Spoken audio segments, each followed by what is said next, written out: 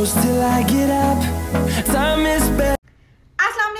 Welcome उम्मीद है कि आप लोग ठीक होंगे सो so गाइस आज की इस वीडियो में मैं आपके साथ स्नैपचैट का एक न्यू फीचर डिस्कस करूँगी उस फीचर के थ्रू आप स्नैपचैट पे डिफरेंट ब्रांड की शॉपिंग भी कर सकते हैं जो लोग ब्रांड को पसंद करते हैं, उनकी शॉपिंग करना पसंद करते हैं, उन लोगों के लिए ये फीचर बहुत ज़्यादा अच्छा है अगर आपने मेरे चैनल को सब्सक्राइब नहीं किया तो मेक श्योर सब्सक्राइब कर लें। अब हम स्टार्ट कर लेते हैं अपनी वीडियो को।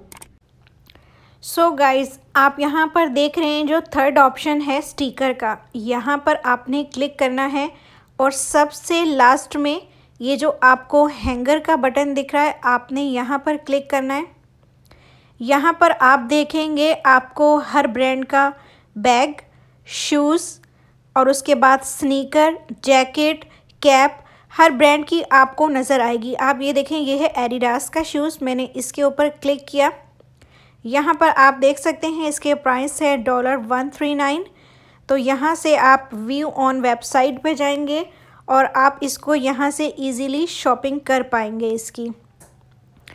और बाकी भी आप देख लें, यहाँ पर कुछ ज्वेलरी भी है बेबी ड्रेस भी हैं और सॉक्स भी हैं। डिफरेंट आइटम्स आपको यहाँ पर मिल जाएँगे। तो स्नैपचैट ने अब एक तो शॉपिंग का भी फीचर है, वो इंट्रोड्यूस करवा दिया है।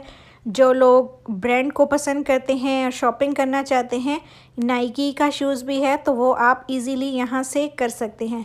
ये भी मेरे ख्याल से एक बहुत अच्छा फ़ीचर है। आप स्नैपचैट और भी ज़्यादा एडवांस हो रहा है। गाइज़ आप शॉपिंग में कुछ भी सर्च करेंगे ना, यहाँ माई टोकन के नीचे शॉपिंग का एक बटन है।